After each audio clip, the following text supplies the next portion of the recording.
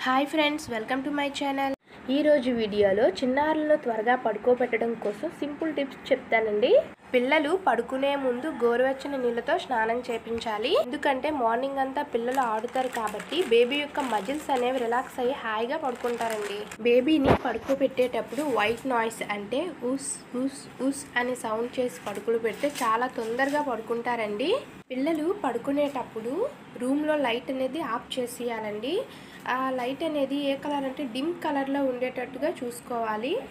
Next పిల్లలకి కడుపు నింపుగా పాలు పెట్టిన తరువాత పడుకొనియాలండి లేకపోతే వాళ్ళు మాటి మాటికి లెగిసిపోతూ ఉంటారు. వాళ్ళ కడుపు అనేది చాలా ఫుల్గా ఉండేటట్టుగా చూసుకోవాలి. పిల్లలతో మనం eye to eye contact maintain చేయకూడదండి. ఎందుకంటే పిల్లలు అలా మన వైపు చూస్తూ ఉంటే వాళ్ళు నిద్రపోరు. లాస్ట్ టిప్ పిల్లలకి పడుకునేటప్పుడు డైపర్ వేస్తాం కదండి. ఈ డైపర్ ఫుల్ అయిపోవడం వల్ల పిల్లల యొక్క స్కిన్కి తగిలి చిరాగ్గా ఫీల్ అవుతారు. కాబట్టి డైపర్ని మార్చివేయాలి. ఇటువంటి మరెన్నో వీడియోస్ కోసం వెంటనే నా ఛానల్ను సబ్స్క్రైబ్ చేసుకోండి.